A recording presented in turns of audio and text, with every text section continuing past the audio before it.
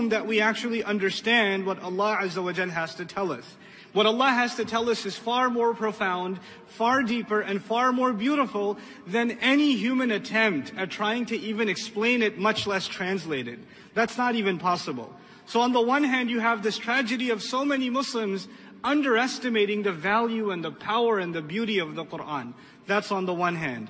On the other hand, you have people that are, that are trying to understand the book of Allah and trying to study it in more depth, but when they present it to people, when they teach it to people, or at least try, they teach it in such a difficult way, in such a technical way that people just, whew, nothing, what is he talking about? He just quoted like 80 different scholars and talked about some grammatical stuff and some roots of this or that or the other, but I don't get it. I don't know what he's talking about. And then people come out of that kind of a lecture saying, man, that was deep. And then you say, what did he talk about? I don't know, but it was deep, man. That was deep. you know?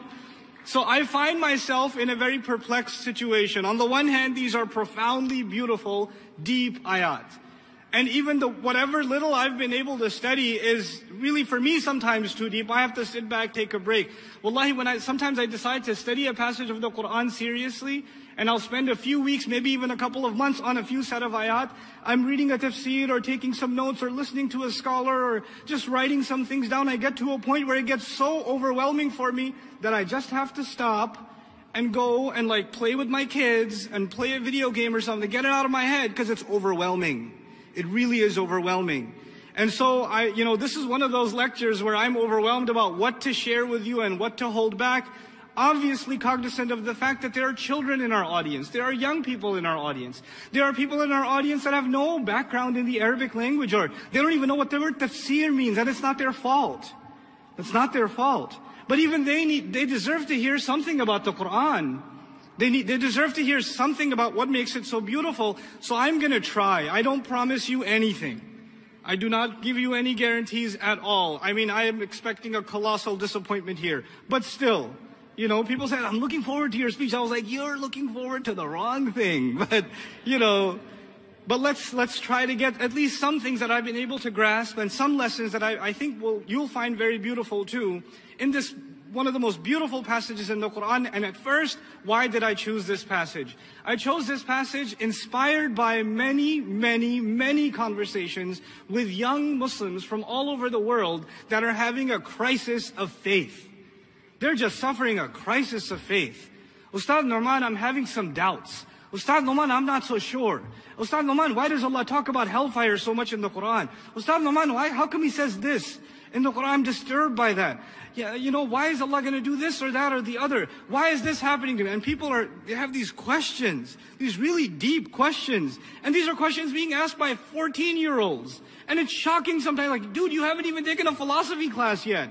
Thank you, YouTube right? So our kids are, young kids are exposed to these philosophical crises on top of the, all the other chaos in their lives, not to mention the disintegration of the basic family unit where parents don't know what it means to be parents anymore. We don't know what it means to have a regular conversation with our children anymore. We don't do this stuff. We don't, and we don't actually assume that our children are going to have major crises of faith in their young years. We assume their Islam is going to be on autopilot, but when they get to that point and they start asking their parents some tough questions, a lot of us parents, we just kind of panic. We're like, oh, there's some kind of shaitan possessing this child. Go take him to the imam and the imam's going to be like, and then it's going to be gone. But this kid's problems have not gone away. He's got more questions and more questions and more questions. And yes, it is a fact that almost all of the conversations I've had with young people about their crisis of faith, it has boiled down to a combination of two things. On the one hand, at the core of it, there is a spiritual problem. At the heart of it, there is a spiritual disease, which is then wrapped with an intellectual confusion. But at the heart of it, there is still that spiritual problem. And I don't, I don't diminish or ridicule the intellectual problem. I don't. I think they both need to be addressed. But we need to understand and diagnose the problem first before we offer medication. So when you, when our kids start having these kinds of crises and we take them to, you know, to do some ruqya on them or something, we're attempting to solve possibly a spiritual problem, but have no, given no respect or no credence to the fact that there may be an intellectual problem as well. There may be a psychological problem as well. And so I think this is one of those places in the Quran that is so important that everybody should understand so, so well. This passage to me, you know what it did for me when I was a student in college? This was the passage that told me who I was. I was a student of psychology. And when I was studying psychology, there's one thing in psychology studies that there's no agreement on. You know what it is? Personality. The definition of personality. What is it? Oh my God, you've done a PhD in psychology, which is all of it is the study of the human personality. And the one thing we haven't figured out yet is what? What is personality? Subhanallah. Allah says this so articulately in the Quran. He says, يَسْأَلُونَكَ عَنِ الرُّوحِ قُلِ الرُّوحُ مِنْ أَمْرِ رَبِّي وَمَا أُوتِيتُم مِنَ الْعِلْمِ إِلَّا قَلِيلًا They ask you about the ruh. They tell them the ruh is from the commandment of my master. You haven't been given except very, very little. Whatever we can figure out even about ourselves is just the tip of the iceberg. Well, you know what? Allah revealed to us something about ourselves that you could not have found in philosophy and you could not have found in psychology. This can only have come from Allah. And when I started seeing myself, pun intended, in light of these ayats, when I started seeing myself in light of these ayat, I figured stuff out about myself that I couldn't have figured out on my own really, I started looking at myself differently. And I hope I can do some of that for you today, even though my time's really, really short. Let's begin, inshallah ta'ala. Allah begins by saying, calling himself the light of the skies and the earth. And many ulama have commented on the fact that this is actually a parable.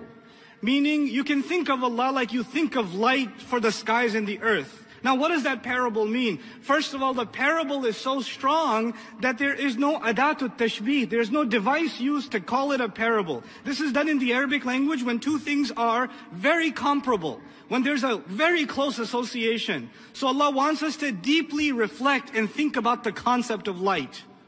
To think about light. So I'll say a few things about light. If there is no light, then doesn't matter how beautiful the universe is, we see nothing. Doesn't matter if you and I have both eyes. Our eyes are useless without the presence of what? Light. Reality as we know it around us is actually irrelevant entirely. All we have around us then is darkness and nothing. And incidentally, we know now that light isn't just a means by which we can see. Light is a fundamental to life on this earth. Without light, you don't get plants. And without plants, you don't have life. Life is, light is essential to life. And it's interesting that in the world, the places in the world, geographically speaking, that have the least amount of sunlight, the places in the world that are really gloomy and dark and cloudy, Europe, um, have the highest levels of depression in the world. People don't enjoy their life. They, they're miserable and cynical and dark. It's weird that in, you know, in a city that is as well off as Seattle, Washington, a well off, a beautiful city covered in mountains, it's gorgeous, has one of the highest suicide rates in America.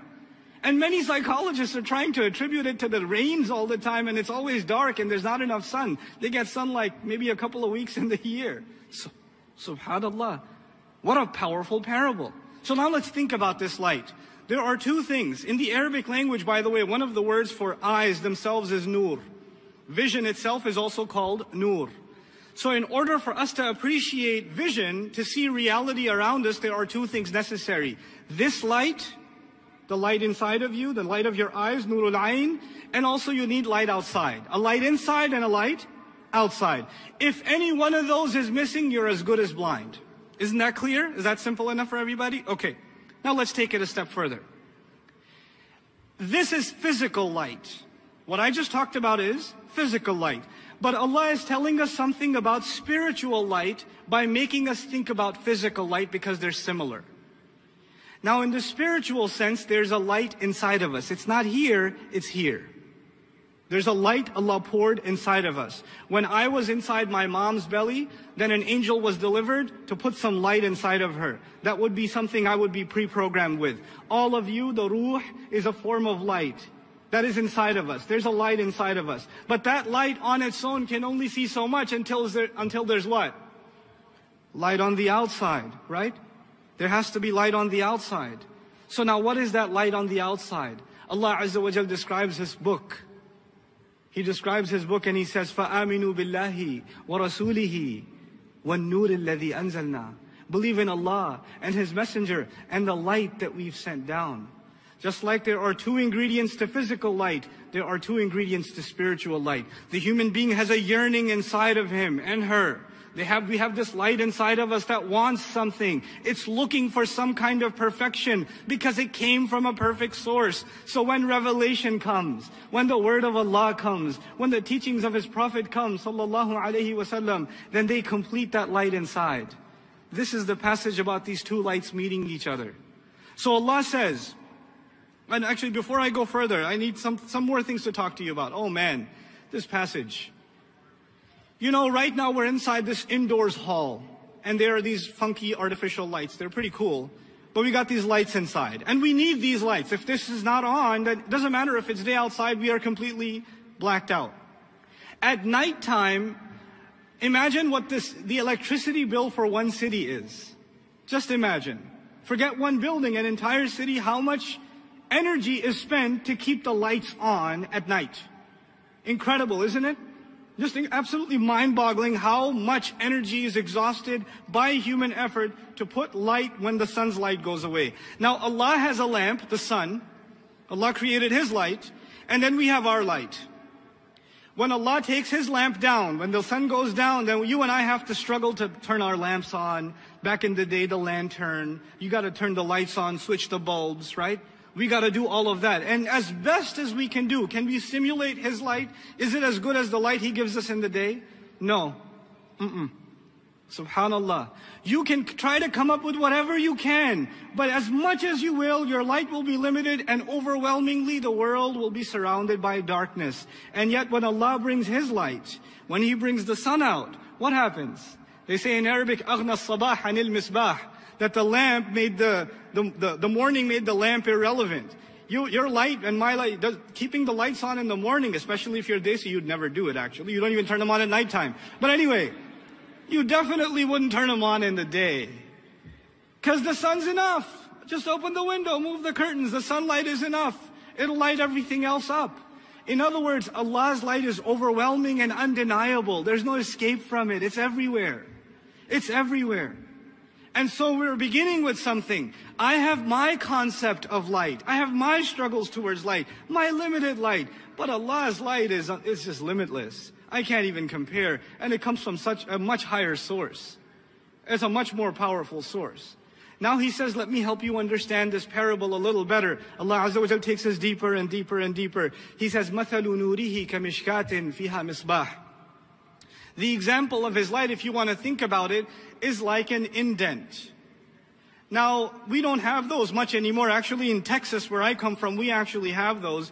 But in modern homes, you have tube lights and you have bulbs and you have chandeliers. But back in the day, they didn't have running electricity. So what they used to have to do in homes is they would put a little arch, like this, this curved arch, in the indent of a wall. So they could put a lamp in there. And they made this arch so that when, the, when you put a lamp in there and you turn it on, the light hits the back of the arch and spreads to the rest of the room. So they designed it in a way that it would capture the light and then spread the light. That's the purpose of it. And it's shaped kind of like this. Like the door of a classical masjid or something. When, you know, Sunday school kids draw a masjid, they draw a door like that. That's what an arch looks like. That's a mishkat, basically. Now Allah says the example of Allah's light, if you want to think about it, in one way of it, it's like a lamp inside a niche.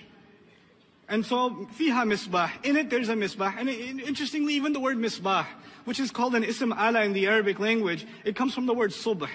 I know, هناك عرب ما شاء الله في المجلس ماذا يعني الصبح? What does subh mean? It means morning.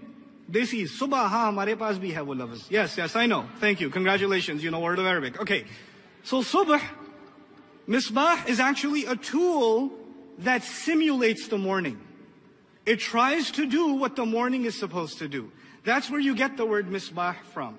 Okay? And it creates an awareness and alertness. That's why in Old Arabic, another way of saying intabih is asbih. Another way of saying pay attention in Old Arabic is actually to say asbih, which actually doesn't just mean wake up, it means pay attention. In other words, obviously, if you want to be alert to your surroundings, you need to have something that produces light. Anyway, moving along with this beautiful parable. There's an arch in the home, there's a lamp inside that arch. That little niche, there's a lamp inside. Fiha misbah. Al-misbahu fi zujaja. And then that lamp itself, you know, back in the day, the lamps were not tube, you know, bulbs. They were not bulbs. They were lamps that you have to light up like a candle, right? And the flame flickers. So what do you have to do to protect the flame? You have to put a glass around it. You put glass around it, and glass does a few things. One, it helps spread the light even more. So now there are two devices to spread the light. And two, of course, if it's windy or you have a fan on or something, the light's not gonna go out. Incidentally, even bulbs today, aren't they surrounded by glass? Right? So Allah didn't let us change that much, right? So al-misbahu fi zujaja. Now that, so Allah says it, the lamp is inside a glass. And I'm not explaining the parable yet, I'm just translating it so far. الزجاجة كأنها كوكب. The glass itself is like a brilliant star. Wait, I thought the lamp was going to be a brilliant star. He says, no, not the lamp, even the glass around it, when it twinkles, it looks like a star. And then he says, durri. The word durri in Arabic, subhanAllah, one of the most uh, interesting words I found in this, in this parable, uh, shay'un yuniru binafsihi. Something that's lit on its own. It's almost as though it's got its light of its own. Even though the, the, the glass itself is not something that's lit But it's so pure and refined, it feels like it's got its own light. It's got its own shine. That's the glass around the lamp. All right, moving along. كوكب دري يوقد من شجر. Now this is, this is where things get really interesting. This lamp is now fueled. Because you can't just have a lamp back in the day, you have to have some oil inside there. Now the, instead of describing the oil first, Allah says actually it's fueled by a tree. Now tell me, this is very easy math a science question for you. Where is the image of everything that's going on? Is that indoors or outdoors so far? Are we indoors or outdoors? We're indoors. Thank you for being awake. Very good. Now there's a, there's a niche. There's a lamp inside. And Allah says there's fuel inside that lamp. And that fuel comes from a tree. Tree is indoors or outdoors? It's outdoors. So Allah is making us leave the home and think about something outside. He's making us think, think about something outside. Fine. You know why that's important? I'll come back to it when I tie this all up together. Probably you'll remember nothing, but we'll see. I have high expectations from Canada. So, the idea is this lamp is powered by something from the outside. Something from the outside is the source of its light. It's not itself. It is not itself. It's some tree outside. Now, min shajaratin mubarakatin, the first attribute of this tree is that it is, it's commonly translated as uh, a blessed tree. But the word barakah in the Arabic language is a few things. I won't get into the linguistics of it, but it's increase. One of the meanings of it is increase. And the other is increase beyond expectation. The other meaning of barakah in the, in the root origin of the word is something that stays in its place. So athabitu min min shay, right? So something that's in its place is also something that has barakah. Now what Allah is saying is its source is a stable tree. It's a tree that's constantly growing. It's a tree that whatever it gives, whether it's fruit or oil or extract, whatever this fruit, this tree gives, it gives beyond what you expected. You cannot codify it. You can't limit it to something like, I expect it to give this much. Every time you expect this much, it gives you more. So this lamp is lit by something that has no limits on its potential because its source is Mubarak. The source is Mubarak, okay? And I still haven't solved the riddle yet. I'm trying to build it for you so far. Now, he says Mubarakatin Zaytunatin. It is an olive tree. It's an olive tree. Now, why in the world an olive tree? You know, it's very interesting that in the Arabic language, the Arabic word for oil, oil itself is zayt. And the most refined kind of oil the oil that the Arab is so obsessed with for millennia that to this day it cannot escape his dinner table. You cannot go to an Arab's house and not experience what? Olive oil. They, to them, when they think of oil, they, they think of zayt, they think of zaytun. And that's been there for thousands of years. That's why the word itself is the same. It's the same origin. Okay? They're tied together. So the most refined kind of oil, the oil that has the most diverse benefits, it can be consumed, it can be used to make food, it can be used to make sense. you can put it on your skin, you can make food, you know, fuel it, fuel your lamp with it. It has the most, most amount of benefits. And more, and then some. This is zaytuna. But then Allah adds a strange, strange, strange description. He says, La sharqiyatin wa la gharbiyatin. It's neither eastern nor western. Meaning the tree is not on the far end of one forest on the eastern end, not on the western end. It's on its own. This tree is unique. And when the sun comes up from the east, it's hitting one side of the tree. And as the sun is setting, it's hitting the other side of the tree. So this tree is constantly being baked by the sun. It gets the full advantage of the, everything the sun has to offer. And those are the kinds of trees that give the best kind of oil. Okay, I'm going to try to work back on my, my parable now. I just translated it thus far for you to recap all of this so you don't lose your minds. Allah just said to appreciate His light, you can think of His light as a niche inside a wall. In a home. And by the way, when do you turn a lamp on? Night or, night or day? At night. No, no, not day, child. You must not be from a Desi family. No, no, no. Okay. So you turn the lamp on at night. But when you turn the lamp on, the light needs to be protected, so you have a glass around it. The glass itself is super brilliant. It looks like a star. It reminds you of a star. Now, when the word star is used, where does that make you think? Sky, right? Makes you think sky. Then the oil itself came from the most powerful, you know, pure source that is neither lean to the east nor to the west. It gets the most exposure from the sun. Let's work our way back. The human rib cage looks like a niche in a wall. This looks like a mishkat. And Allah put inside it a little lamp. You know what that is? It's our heart. And inside that heart, Allah put a kind of fuel that is so pure that could not have come from anywhere. Neither eastern nor west. And something that is directly, it was directly in contact with Allah Azza wa Jal, fully exposed to His light, like a tree that's fully exposed to the light of the sun. That's our ruh.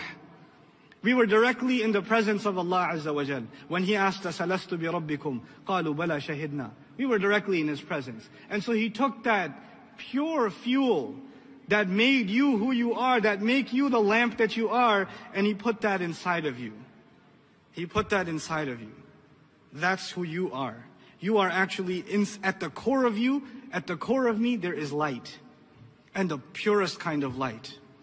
That's what that is. And now the glass around it is dirty or clean? It's clean, isn't it? What do you know about sins? When people do sins, what happens to their hearts? The glass starts getting dirty and dirtier and dirtier until it turns black. But you know what? Allah didn't give you a dirty heart to begin with. Unlike other theologies, we weren't born into sin. We were born into purity. Our hearts are clean. I mean, we let it get dirty sometimes. And you know what? If you do if you do nothing with a lamp, if you never clean it, does it get dusty or no? It does. So it can't be on autopilot. You have to clean it yourself. The original is beautiful. But if you don't clean it, you're not going to know. You're just not going to know. So this light is inside of us, and this, this fuel is inside of us, and it hasn't even been lit yet. By the way, it hasn't been lit up yet. Allah is just describing the glass and the, you know all of that, and no light yet. And he says, Yakadu zaytuha yudi'u. It is almost as though its oil wants to jump and catch the fire. Even though fire hasn't even touched it yet. This is the kind of fuel that's saying, man, I'm so pure, I'm so flammable, just give me a match. Let me light this up. I need to do, I need to fulfill my purpose. You ever see like petroleum? It kind of feels like it's catching towards the flame. Don't try this at a gas station. But I'm just saying right? The idea of it wanting to catch light, that's been captured by the end. And then Allah says, Nurun ala nur, light upon light. Now what in the world does that mean? It means a ton of things, but I just want to share a couple of things with you. So far we have a lamp inside of us that is amazing. It's got, it's lit on its own, but not fully. It's even its, its glass is like a light. But when the light of revelation, when the light of wahi comes inside through our ears, when we see, when the Sahabi sees the Messenger of Allah and the light goes through his eyes and it goes into his heart, his heart already had the fuel and one little spark and boom, then you get light upon light. Nurun ala nur. The light of the fitrah, the light of the heart, meeting the light of wahi, the light of revelation. That is nurun ala nur. That's the passage of light. These two lights have to meet each other. Hey, I, am not done. Stop that. Okay. All right. You with me so far? So far, so good? Now check this out. When do you turn the light on? I keep saying it so you remember because it's a really difficult physics question. When do you turn the lights on? Nighttime. Which means that the light that Allah provided, the sun, He's taken it away. And in the absence of that light, you are in need of a lamp. But that lamp was fueled by something that had a direct relationship with the sun. It was trained well by the sun so that in the absence of the sun, the light can carry on. The believer and his heart is necessary for dark times when the light of revelation is taken away that you are left behind.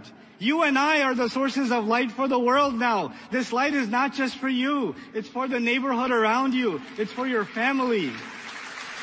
What's the point of a lamp if it doesn't light up its surroundings? What's the point of it if it doesn't light up its surroundings? And as a matter of fact, Allah compared that lamp and the glass of it even to a star. And the star makes you think of the sky at night, doesn't it? Al-Razi rahimahullah commenting on this ayah said, أهل السماء ينظرون إلى الأرض المتلألئة وأهل الأرض ينظرون إلى السماء المتلألئة he said the people of the sky, meaning the angels, look at the earth lit up by light. And the people of the earth look at the stars lit up by light. You know what he's talking about? Not physical light. When your flight lands at nighttime, you see lights all over the earth?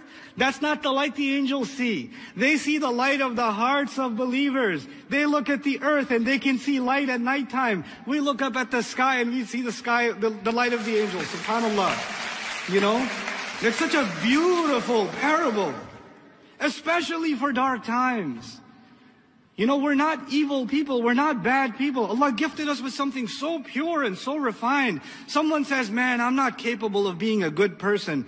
Actually, you are, you are so capable of being a good person. You are actually inherently good and incredibly good at that. Not just good, incredibly good. These pas- this passage to me was like, whoa, so I'm like lit up on the inside? How do I keep this fuel going? Because the fuel is not from inside, is it? The fuel had to come from outside and it needs to feed. You need to clean it. And that's why Allah gave us this revelation. Allah gave us this book so we continue to recite it and memorize it and reflect on it. And every time we do, the light gets a little stronger and a little stronger and a little stronger and a little stronger. That's what it does.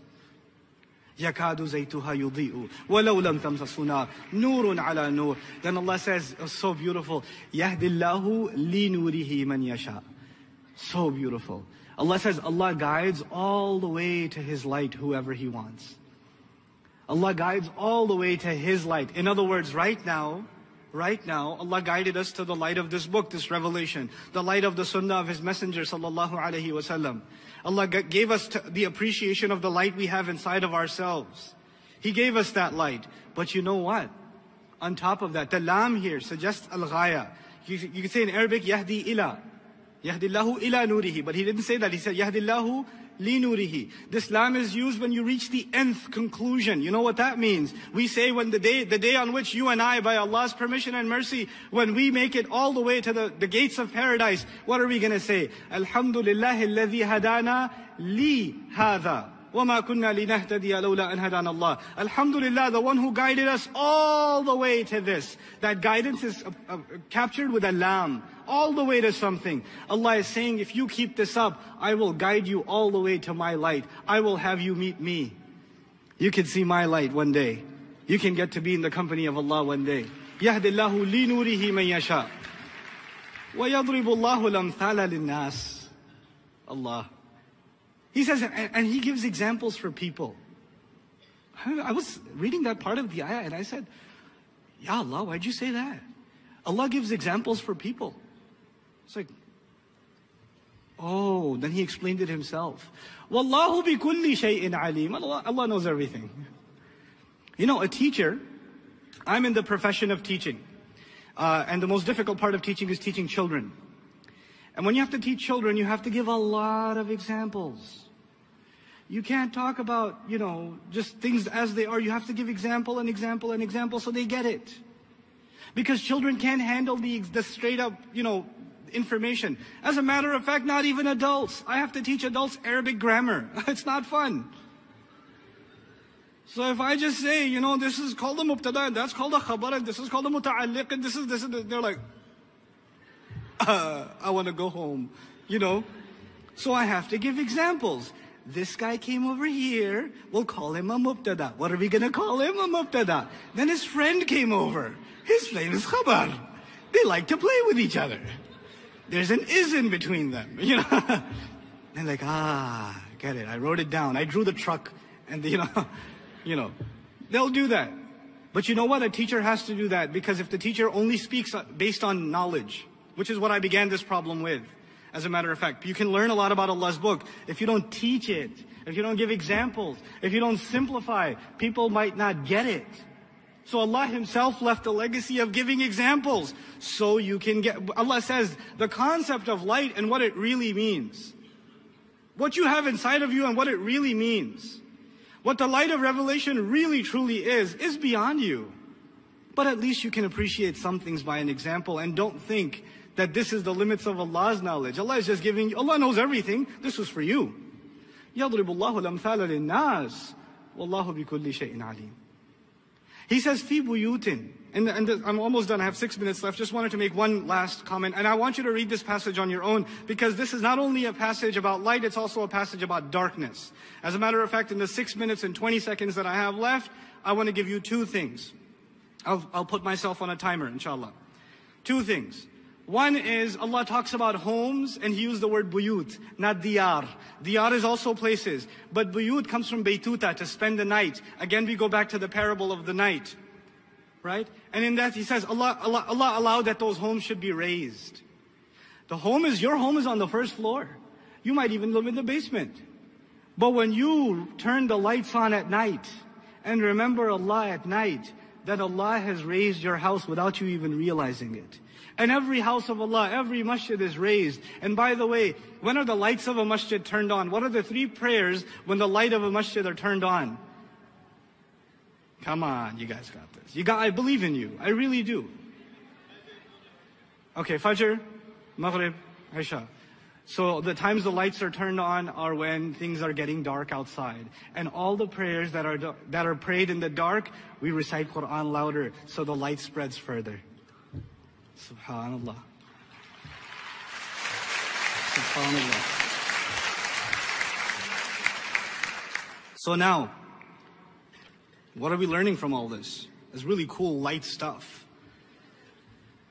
But what does that all mean? That means that maybe we haven't been paying attention to something inside of ourselves. Maybe between all of the video games and the movies, maybe between all the TV shows, maybe between all the social media stuff, maybe between all the gadgets and the picture taking and all the, it's just the spending, killing time. Maybe we've been killing a light inside of ourselves. Maybe some of you really like to buy lamps and chandeliers and put up, you know, nicer lighting inside your homes. And you love the stores and the restaurants that have beautiful lighting. But you know what? You and I start need to worrying about lighting inside of ourselves a little more. And part of that is developing a relationship with the houses of Allah that Allah has granted us, even in the lands that we did, nobody expected there are going to be masajid. Nobody expected. How many people are actually going to visit the masajid? And if you're going to complain to me, well, the masjid, our masjid is a little difficult. We've got a situation at our masjid. Uh, the women have a closet. And once my aunt goes in, nobody else can, etc., etc. You know? If that's your situation, you know what? You need to participate in your masjid even more. We talk about not being able to change dictatorships in the Muslim world. We've got some situations right here. And we, no, nobody's gonna change those for us. We have to go ourselves as families. We cannot give up on the houses of Allah They are our homes. They are the homes built so we can preserve our light and the light of our children. And sometimes you have masajid. May Allah protect them. The masjid of the Prophet wasallam was an incredibly, incredibly busy place. And all kinds of stuff was going on there. And if the same stuff uh, that was happening in the masjid of the Prophet ﷺ was happening in a masjid today, then people will say, Astaghfirullah al-azim, hada masjid. And then you're supposed to say, exactly. This is a masjid. This is a place for the entire family. And you know what? The people who get angry at you, their children need it. They don't even realize. Let them be angry. It's okay. Don't be afraid of the anger of a few. But we need to revive the relationship of an entire family with the houses of Allah. We need to do this. This is critical. This is not just a side matter. Then on top of that, we need to revive the legacy of praying as a family. If you're not going to go to the masjid, at least pray as a family in your homes. Turn the light on and pray. Wake up your children for Fajr and pray. I know when your kids get a little older, you're like, ah, oh, let them sleep. They got school.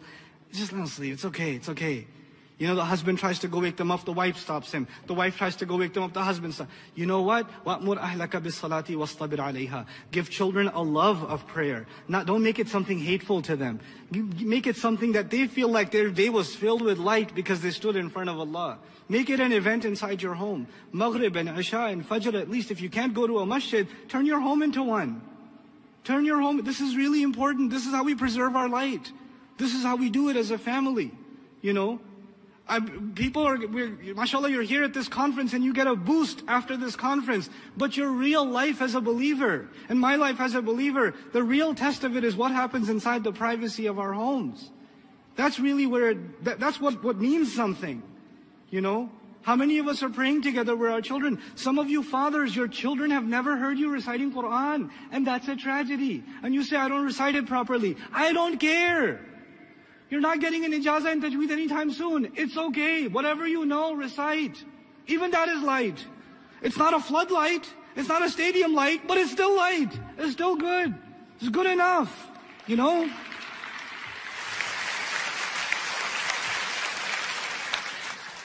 Okay. Last, last comment about this thing.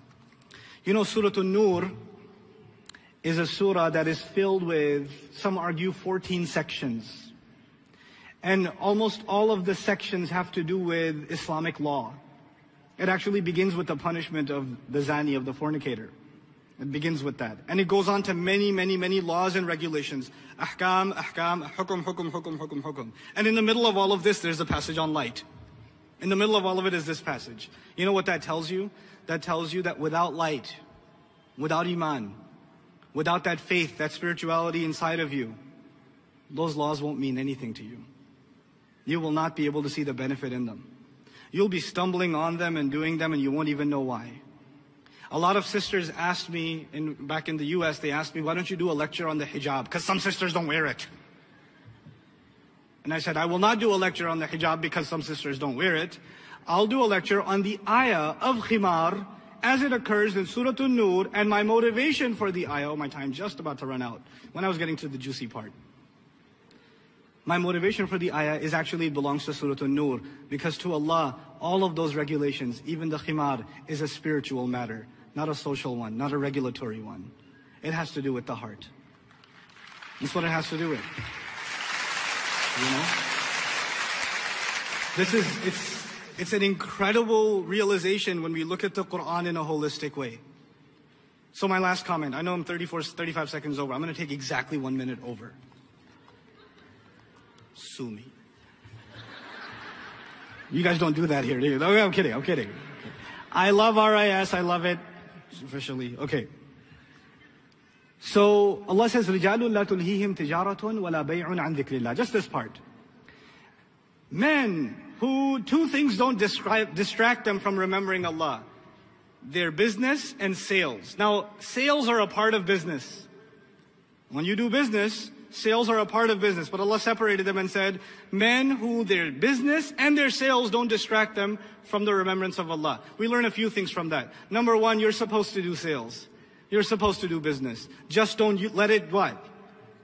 distract you from remembering Allah. We're supposed to be people of commerce. We're supposed to be people of careers. Allah is not saying that you fill up my houses and don't do anything else. Number one. Number two, when you do spend your time properly in the dhikr of Allah, everything else you do, like business, is going to be fine because you won't be distracted anymore. It'll give you balance in your life. You can be people of great careers. You can be without forgetting Allah though. That's, it, you know, without, without remembering Allah, won't, that career won't mean anything. So if you address the spiritual needs of your, of your life, then the career and material needs of your life will be filled with barakah. You won't imagine where the promotions come from, where the next, you know, business opportunity comes from, because you're remembering Allah properly. Just because of that, subhanallah. So you have to, you have to realize Allah will open the doors of rizq for you if you don't let yourself get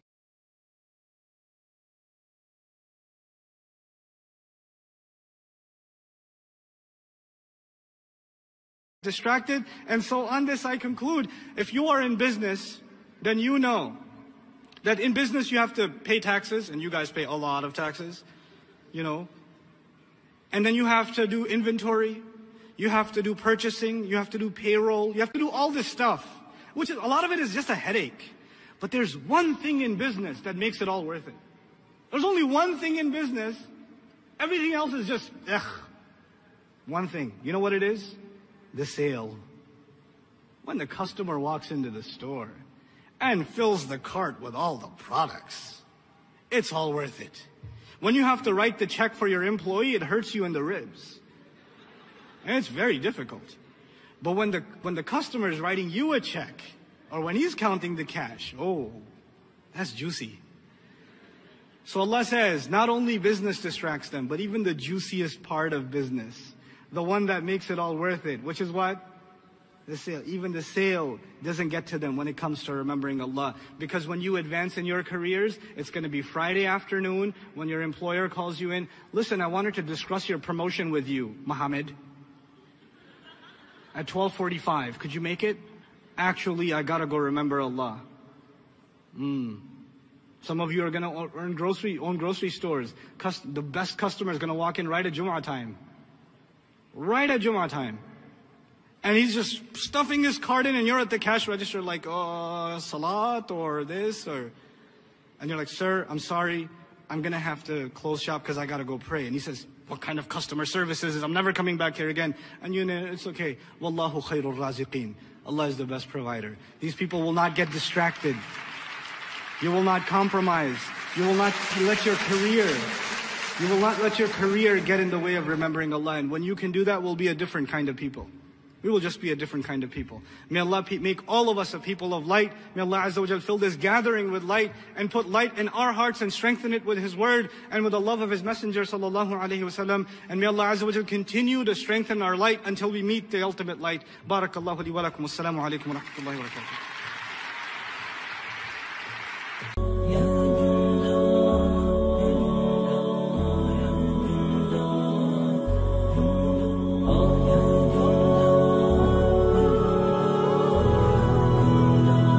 components of a sentence in Arabic.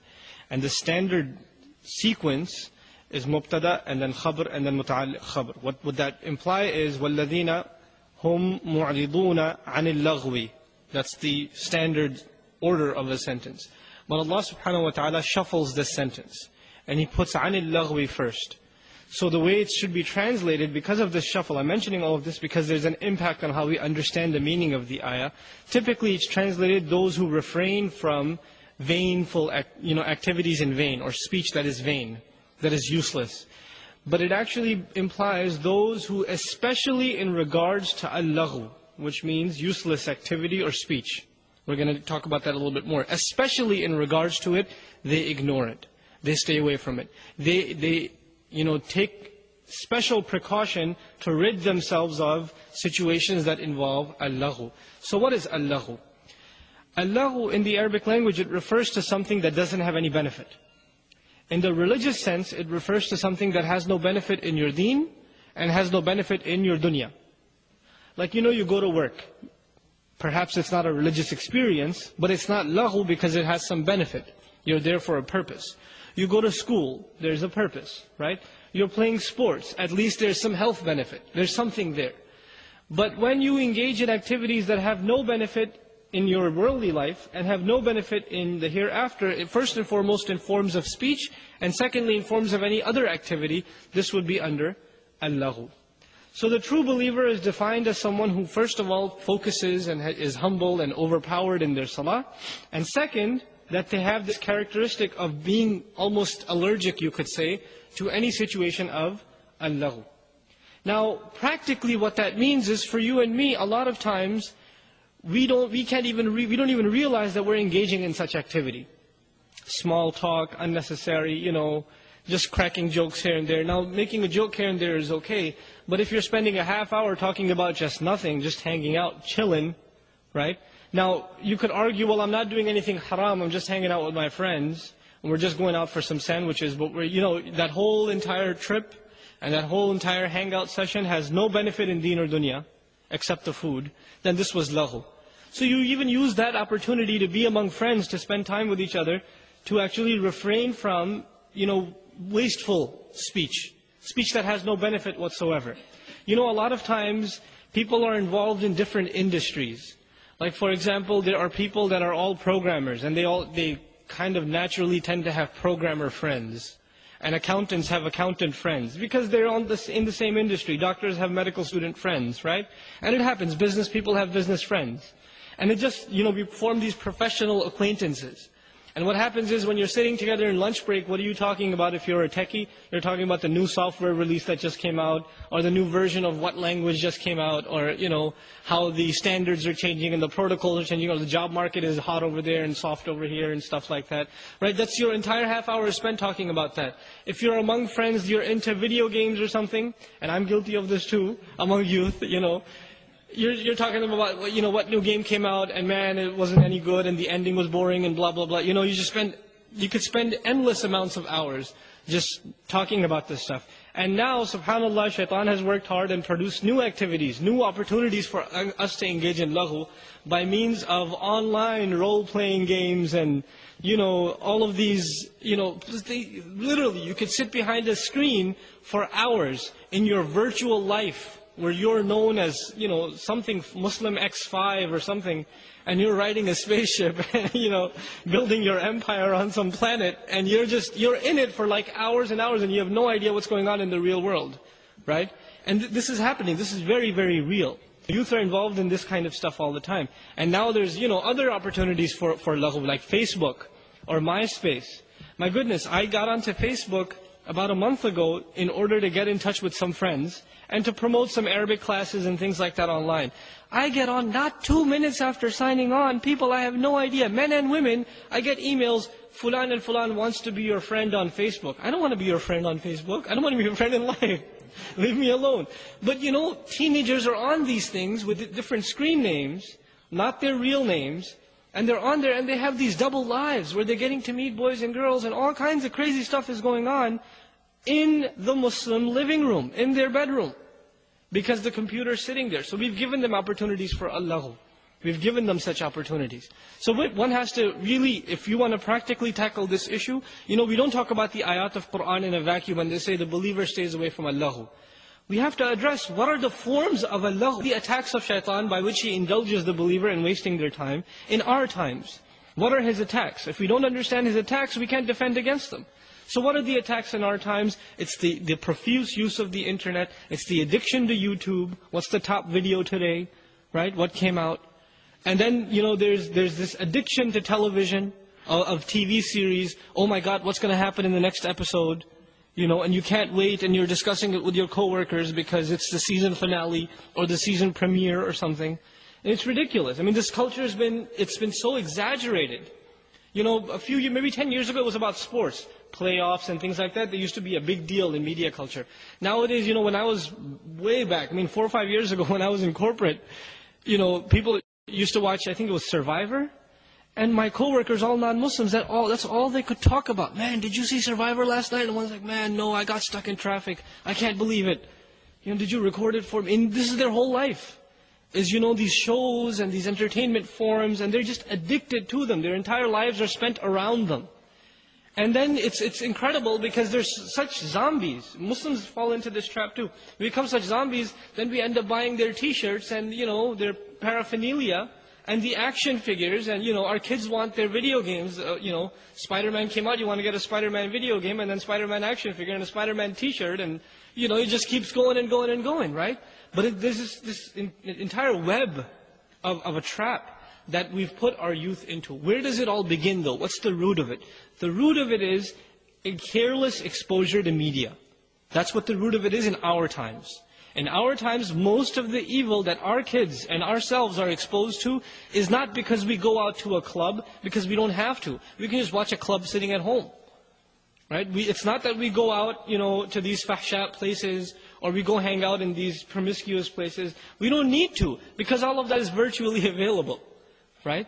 So it's really the careless, the careless use of media inside the home. And especially for parents, we have to be extra, extra careful. What our kids watch, how much they watch, what they're exposed to. We don't even know. I mean, wallahi, the stuff, I mean, uh, these are two things that are connected together, so I'm mentioning them together. Allahu, the next two ayat also, وَالَّذِينَ هُمْ لِلزَّكَاةِ فَاعِلُونَ and وَالَّذِينَ هُمْ لِفُرُوجِهِمْ حَافِظُونَ These are all connected things. One leads to the other. Al-laghu is a waste of time.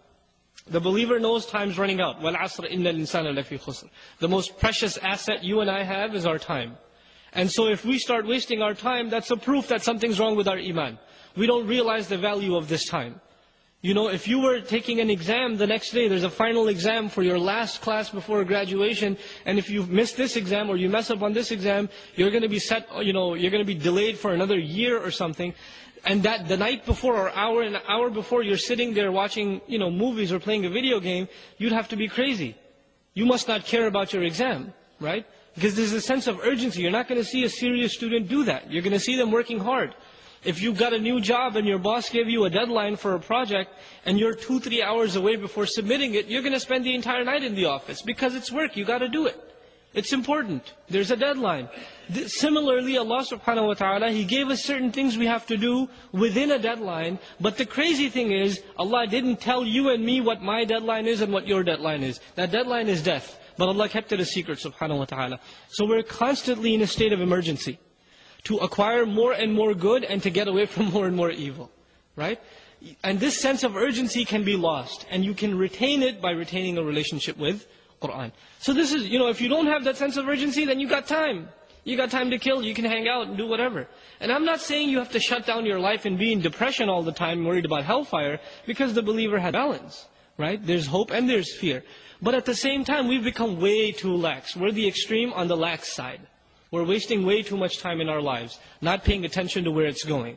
So وَهُمْ اللَّغْوِ مُعْرِضُونَ Then he says وَالَّذِينَ هُمْ لِلزَّكَاةِ فَاعِلُونَ And also the construction of this ayah, the way it's formulated, is beautiful. It covers two things at the same time. As-zakah you all know. Even if you don't know the rest of the ayah, you heard the word zakah, right? So you obviously got the sense, these are the people that take care of their zakah. But you know, there's a fi'l that goes with zakah usually in the Quran, which is mu'tun or yu'tuna. وَالَّذِينَ هُمْ لِلزَّكَاةِ or as zakati yu'tuna. You don't even need the lam there anymore. Okay? Because it serves as maf'ul bihi.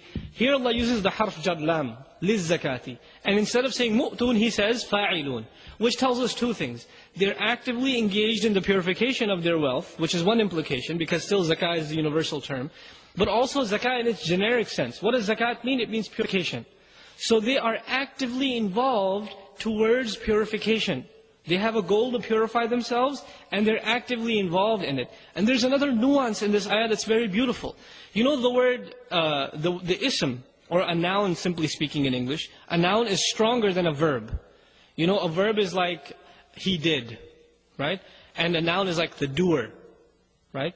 Or he worked is a verb, and the worker is a noun. Which one is more permanent? A worker is always a worker, right? But if he worked, that's in the past tense, that's not necessarily a guarantee for the present tense, right? Allah Azza wa sometimes He uses the nominal form, the noun form, the ism form. Sometimes He uses the fi'l form. And when He uses the ism form, it denotes permanence. So what He's saying by using the word fa'ilun instead of yaf'alun, is that they're constantly engaged in attempts to purify themselves. And then also there's another nuance here, because there are two words for, for working, for doing things. To do action, there is, you know, amal, amilun, and there's fa'ilun, fi'l. There's amal and there's fi'l. Both of them are translated as action. Okay? Yaf'alu, he does. Ya'malu, he does. Or he works. Either way. So what's the difference between them? See, amal is something you think about it and then you do it. And a fi'l is something that comes to you so naturally, it's like second nature. Like breathing is a fi'l. It's not a amal. It is a fi'l. Because you don't have to think about it. You just do it. When you take one step after another when you're walking, this is a fi'l. The mashya is a fi'l. Why? Because you don't have to process any, should I put the left foot first or right foot? You know, you don't have to think about that. So the act of seeing, the act of hearing, that, that come to us naturally, effortlessly, these are fi'l. So what is Allah saying about the true believer? Their efforts to purify themselves come to them naturally. It's not something they're uncomfortable with, it's part of their daily routine, almost like breathing. And what it also implies is, the one day they miss out on their routine, they feel uncomfortable, like something's missing. You know? The acts that they do, they, they, these acts of purification come to them so naturally, when they're not engaged in them, they're uncomfortable. So what are these acts, these proactive behaviors that make us purified? The easiest ones that you could start off with is good company. And of course, you're not going to find good company anywhere in our times except at the masjid. The fortunate few that are, that are concerned with good company will all be together at the masjid. And I dare to say it's not going to be the MSA, I'm sorry. Okay? It's going to be the MSA in some limited respect, but if you know what's happening at the MSA nowadays, then you know what I'm talking about. And if you don't know what the MSA is, say Alhamdulillah. okay? So, you know, there's good there, but there's still a lot of fitna there. Right? It's a lot of kids go to the MSA as a as a resource. They're going to learn something about their deen, but it's kind of the deaf leading the blind. Sometimes it's it's it's problematic. The safe haven for the Muslim is the masjid. That's the divine institution that Allah subhanahu wa ta'ala granted this ummah. So that's the first thing. You want to remain pure, you stay in the company of those that will better you. كُونُوا مَعَ الصَّادِقِينَ Allah subhanahu wa ta'ala said. Then the other thing you can do is, you have to become a, a person of dhikr. Meaning, you have a daily regiment of you're going to recite certain amount of Qur'an. You're going, you're going to make certain adhkar from the sunnah of the Messenger sallallahu wasallam. You're going to make the dua before you enter the house and you leave the house and you go in the bathroom and you come out of the bathroom and you put your clothes on and you, you know, all of these different du'as that the Messenger made sallallahu wasallam. These are not extras. They're really important in keeping us pure. Because they keep Allah's thought, Allah's remembrance conscious in our minds, right? So the first was good company and the second is to memorize the important adhkar. And also included in that is at least a daily you know, uh, segment of recitation of Qur'an. That has to be part of our routine. Now this is the starting point. Then you can only graduate and advance from here. But don't think too high yet. At least establish these goals and then we'll worry about more. Right? A lot of times what happens is we set our goals on the 20th floor and we, we you know, we haven't even entered the building yet. Right? So it's, it's kind of problematic. So set yourself some simple goals you know, don't recite, recite three juz of Qur'an a day. You know, I'm not asking you for that. Start small, even a page, 10 minutes, 5 minutes, something. Start somewhere. You know, don't set, go so high, you know what, I'm going to do this thing. And you recite one day, you're sitting there 40 minutes reciting Qur'an, and you're not used to it. Guess what? The next day you're not going to do it. Because you're not used to it. You're burnt out the first day. We don't want that. You know, the best of the deeds are the ones that are continuous that have continuity in them. So take it easy on yourself and build it slowly, inshaAllah ta'ala. Part of this also that I would highly recommend, just to build a love and affection for Qur'an, is on a daily basis Muslims have to try and memorize at least an ayah of Qur'an. And if you take it very lightly, like after Fajr, 10, 15 minutes, that you can, you know, take on and just memorize just one ayah. Or you're, if you're commuting on the train, that's even easier. Driving is kind of hard. They do have some CDs that repeat the ayat. Or I'm sure you can make the MP3s, you're pretty tech savvy, right? Where the ayat are repeated and you can kind of listen to them over and over again. But if you're, if you're commuting on the train especially, then just keep the Qur'an with you, or at least keep a juz with you, and you're just reading an ayah 10, 15 times, the same ayah over and over again. Before you get to work, you know the ayah by heart.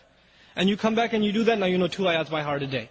And within a month, you know a whole juz of Qur'an. I mean, it's, it's pretty, it sounds remarkable, but that's what happens if you make a routine out of it. You're not doing anything else with that time except snoozing, so might as well use it for that. By the way, don't try to do that while you're driving. I've seen some people do that, and it's I don't recommend it. Inshallah, it doesn't make you more religious. Okay, so let's just clarify that. Anyway, so وهم للزكاة فاعلون والذين هم لفروجهم حافظون, and they are the ones that in regards to their privates they guard them. And you know Allah subhanahu wa ta'ala could have put this ayah in more subtle terms. لِحَيَائِهِمْ Right? The, Allah could have said, in regards to their shame, they guard their shame. He didn't say that. He went straight at the subject, at the heart of the subject, and said, He said, they guard their private parts. It's a very graphic ayah. And why is it like that? Because the subject has to be taken head on. You have to understand the, the seriousness of this subject, including myself. And how easy this attack of shaitan can infiltrate and destroy the iman of a believer. You see, the shaitan is not concerned that the guy that's dancing away at the club or drinking away at the bar or taking some shots of drugs, that he's going to end up doing something shameless. He's not worried about them because they're already on track. He is worried about the loose ends, the sales that he hasn't made yet. Those are the believers. That's who he's concerned with. So the more a believer tries to purify himself, the more he or she will find that the opportunities to engage in shamelessness are throwing themselves at him. Throwing themselves at him. Women out of nowhere will come up to you and say, hi, how are you? Out of nowhere. And you know you have a beard and you're trying to look unattractive, you know, trying to save yourself in society. But you know, shaitan will come to these women and say, hey, by the way, I've got one of my key prospects here. Why don't you go say hello or smile at them? You know, when you, when you serve them at the counter, just give them an extra smile. Right? Or make small talk or something. They will try to mess with you. The shayateen will try to mess with you by means of other things. Right? And, you know, this is something you have to be extra, extra careful of. Because the easiest thing for you to lose is your sensitivity to shamelessness. In a society where shamelessness is as common as the air we breathe. It's just part of the culture. Women barely dressed at the grocery store, just get used to it, you know. The first day you come from Saudi or Pakistan or some religious village in Egypt, and you come here, the first few months you're like, astaghfirullah, astaghfirullah, astaghfirullah, astaghfirullah. And you get to know the pavement really well, because you don't look anywhere else, right? You know every crack that comes your way. But after a while, you kind of, you know, it's life, what are you going to do, you know? I came, you know, I my early schooling was in Saudi, all boys school, all male teachers, and you know, and my, I come here, and my parents, may Allah reward them, they put me in high school, right, public high school in Queens. So I go into Queens, and I walk into the classroom, and there's men, and these girls are barely dressed, and I'm completely embarrassed. I mean, I'm, my face is red. I don't know what to do. Maybe I'm in the wrong place or something, right? And those first few months were insane for me. I wouldn't even touch the railings to go up the stairs because najas people have touched them. You know, these people are, you know, innamal mushrikeen najas. So, you know, but you know what happens over time? Oh, what's the big deal? Let's just, you know, that's just life. What are you going to do? How long are you going to fight it? So you have this culture shock and eventually you get over it and it becomes part of the norm. That's exactly what we don't want. That's not what we want. Because as soon as the, as soon as the believer becomes, you know, desensitized to evil, to fahsha, then his iman is in trouble. And her iman is in trouble. You know, our, nowadays, an example of that, uh, you know, kids will say, we're going to go see this movie. It's only PG-13. Or it only has one bad scene. And we're renting a movie, it's got a bad scene, yeah, but we're going to forward the part. Right? No, really. And, and, and you, the parents say, oh yeah, just PG-13, yeah. Some sexual content. That's not a lot of sexual content. It's just some sexual. And I'm, I'm saying this explicitly because this is the reality. Our kids are going to watch these things. And the parents are endorsing them. They're okay with it. Now, the new thing that's come out is, you know, wallahi, I heard this at, uh, at our own Sunday school, and this is not the exception. This is the norm. You know, kids around the country, they don't talk to the Muslim, you know, leaders, their teachers, their peers. They talk to each other. So you have to spy on them a little bit. So I had this habit of spying on kids, you know. And so I'd be around the back and the kids are talking, my mom let me buy a game that's NC-17. Man, it's awesome. You guys see it's cursing and everything. And they're real, they're real proud of it too. Right? And they got it for Eid. SubhanAllah. they're celebrating the, you know, the obedience to Allah with fahsha and disobedience. So we have to, you know, this is serious, serious stuff. Once you are desensitized to what you see on the screen, then you have the, the only logical next step is you will not lower your eyes when you're walking down the street. And the logical next step is you're going to try to do what the people on the screen do. Right? And it's just one step after another. And it's just a downward spiral. So how do you counter this culture? How do you fight this thing? You fight this thing, first of all, by taking probably the most difficult step you will in your, in your adult life, is to cut TV off. It's a very difficult step. It's I, I, can, I can tell you if you're used to it, it's not easy. Right? But we as Muslim families, for the sake of our children and our own dignity as Muslims, we have to do it. We have to cut TV out. If you want the news, go to, go to the dot-coms. Right? And avoid the banner ads even there. But you know, there's ways of getting the news. There is still the radio, alhamdulillah, it's still in place, and it still tells you the news. Right? You can get in the, the excuses that I used to get a few years ago before you know the, the media on the web spread like the, like the way it did. It used to be, well, how are we going to get the news? If you know, the, you know, we we need to listen to CNN and Fox. Like, you don't need to listen to CNN and Fox. But even if that's your excuse, that excuse is dead now because better media outlets for the news and information are available online. Probably you get more reliable information online than you do on television, right? So, you know, get rid of those excuses and clean up your house.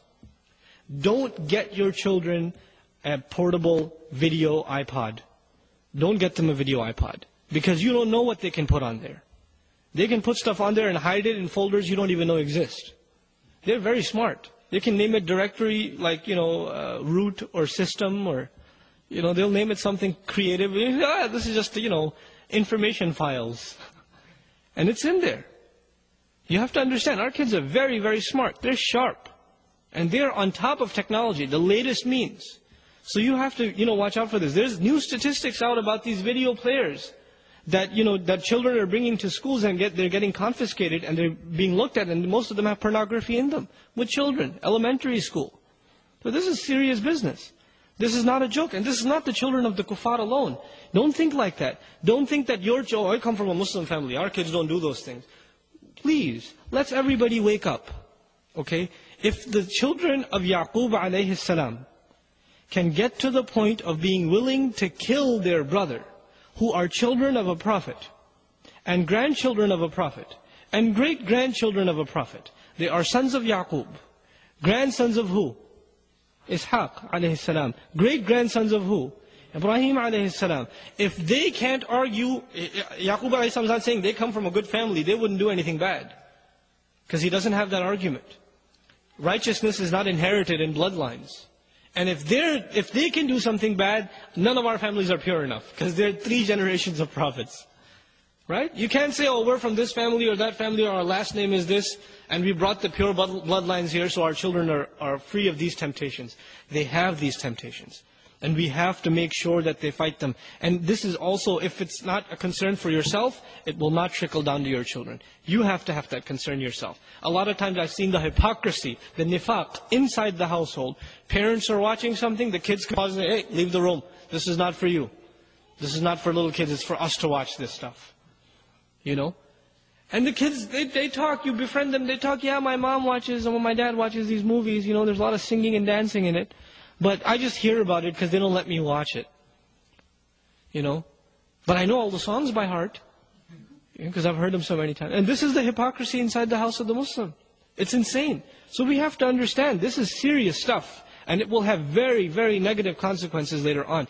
It's, it's bad enough for our deen, but it will ruin your dunya. And let me tell you some horror stories. I'm not going to name anybody specific or tell you any specific story, but it's happened to me more than a dozen times. That parents have come up to me when I've given a talk like this and said, can you talk to my teenage son? Can you talk to my daughter? She's got some problems. She's not listening to me anymore. And I think they've got, she's got some boy problems or some girl problems, right? And you know why that happened? Because now that they're teenagers and they're independent, it's too late. The ship has already sailed. When they were under your midst, you didn't care. You were putting the extra hours in at work so you can put the down payment in for the house. And the wife was also doing some work somewhere else so that baby, the cable TV was babysitting the child. And now that they have the power to act out what they've been watching all along, their sheikh on TV has been doing that all along, and now they're acting it out, now you're surprised. Don't be surprised. They're just doing taqleed of what they've, you know, the dars they've been getting every day. That's what it is. It's not, it's not a surprise. How could they do this to me? How could you do this to them? they didn't do this to you, you did this to them. You programmed, programmed them this way. Just because we have Muslim names, if we are part of the same exact culture that everybody else is a part of, the outcome is going to be the same Right? We have to change the environment within the homes and how our children are taking in media. So this is, you know, very important thing, inshallah ta'ala, for all of us. وَالَّذِينَ هُمْ لِفُرُوجِهِمْ حَافِظُونَ Again, I want to leave this with a, a, few pieces of practical advice. Please do not put a computer in your child's room. If you want to put a computer, put it in the kitchen, put it in the living room. Don't face it against the wall, face it against the outside so anybody walks in can see what's going on on the screen, right?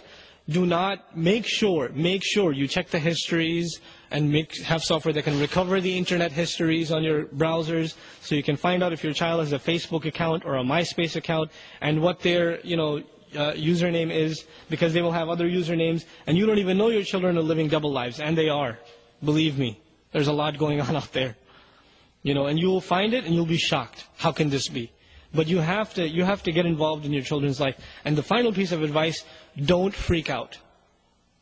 Because we come from a culture when our children disappoint us in the least bit, then we say, how could you do this to me? You're a disappointment. You know, we come from a culture where the child gets an 88 on the exam, and he's so proud of himself, and he comes to the father and says, Dad, I got an 88. Okay, next time get a 90. And you get a 90, uh, why didn't you get a 100? What's the matter with you? Right? There's always you could have done more. There's no appreciation of our children. Right? And so when something like this, you find out your boy was, you know, your, your, your son comes to you one day and says, you know, Dad, this girl asked me to go to the prom. And he just comes to you not knowing what your reaction is going to be. Poor kid, well, he, he asked the wrong question. Then you, you ask, well, what is prom, bete? And then you, then you tell him, then the child tells him the, what the prom is, and my goodness, you know, it's like his, you know, extra hair fell off the head, and he's screaming, we brought you to America for this, and you give him a beating, and you yell at him, and you tell the mother, and you know, all kinds of craziness inside the house. This child will swear to himself that if next time there is a girl talking to him or anything like that, the last person he will ever tell is who? You. The mother, the sister, the brother. He will not tell you. Who will he tell? His non-Muslims friends that will say, yeah, that's awesome, man, go for it. That's who he's going to tell. So you have to learn to take it and be able to deal with it. You cannot deal with it if you freak out. Because that would have worked in Pakistan, maybe, it would have worked in Bangladesh, it would have worked somewhere else. It's not going to work here. It is not going to work here. Your children will simply shut you out. There will be someone outside and someone else when they walk inside those doors. There'll just be someone else. I can tell you this from personal experience. Wallahi, I've seen this many, many times. Children are totally different. Totally different people. Like you wouldn't recognize them when they are at school, when they are on campus, as opposed to when they're at home. Completely unrecognizable and the parents would have no idea. They're completely oblivious because all they care about is the report card. The report card's good, everything else is good. Let me get you this, let me get you, let me get you a cell phone of your own, and I'm not going to check your phone history, nor will I receive your bill and go through all the phone numbers. Who's been calling you? I don't need to do that because, you know, it's a good get grades. You know, boys with good grades and girls with good grades in this society, Muslim society, have drinking problems, have drug problems, have boyfriend, girlfriend problems, and that's the reality. So let's wake up to it. Right? We have to face these things. وَالَّذِينَ هُمْ لِفُرُوجِهِمْ حَافِظُونَ has to become a movement within the Muslim community. We have to gather our youth together and talk about these things and help them cope with these things. Because what we're asking to them to do, else thinks this is crazy. Did you know, and I, don't be shocked by this, you go to high school, and many of the high schools, and if, you if you haven't you know, committed zina, then you're an object of ridicule. And this guy hasn't even done anything yet. You know, he's still just a kid. They're being made fun of because they haven't committed zina. Imagine that. And that's the culture in which they are. So what we are asking them to do is making them the object of ridicule among their peers. This is a very difficult thing for them to be asked to do. And if we don't have any, any measures of supporting them, of having them talk to someone, of letting these feelings out, these frustrations out, giving them alternative venues, then we have monumentally failed. You know, the, the, the signs of our failure are when we are having talks and our children are not here. Our youth are not here. Because they have no interest in being here. And that's our fault, not their fault. We have to make the masajid interesting for our youth. Otherwise, it starts with laghu and it ends with fahsha. It starts with laghu. It starts with wasting their time and eventually when you waste your time, you find the worst things to do with your time and that is what this society is calling you towards. So this is very, very serious business. For our personal selves, إِلَّا عَلَىٰ أَزْوَاجِهِمْ أَوْ مَا مَلَكَتْ أَيْمَانُهُمْ فَإِنَّهُمْ غَيْرُ مَلُومِينَ But they, they only guard, they don't guard their privates in regards to their spouses or what their right hands possess and, and in those cases, they are not to be blamed. Inshallah ta'ala, we'll discuss the spousal relationship tomorrow, inshallah. And it's going to be PG-13, so uh, don't bring your younger kids tomorrow. Because we have to discuss, this is an important subject, of preserving your own, uh, you know, haya, your own shame, inside the house, even after you're married. Before you're married, you're thinking, oh man, once I get married, I won't ever be tempted again. And after you get married, you say, what happened here? so we have to discuss this subject. Because it is a problem for a lot of husbands and a lot of wives. You know, the fahsha is still attacking them. And the shaitan, all he wants to do is ruin marriages, right? So we have to address this subject and take it head on, inshallah ta'ala. So we'll discuss this ayah when it comes tomorrow. Also, what we'll discuss tomorrow, bi'idhnillah, is the issue of what your right hands possess, which is supposed to be some controversy, right? These concubines, these, these Muslims, they allow for women to be owned and all this kind of stuff. We'll discuss that subject tomorrow. Fil Qur'an hakim wa nafa'ni wa iyyakum bil ayat wa dhikr hakim. Assalamu alaikum wa rahmatullah.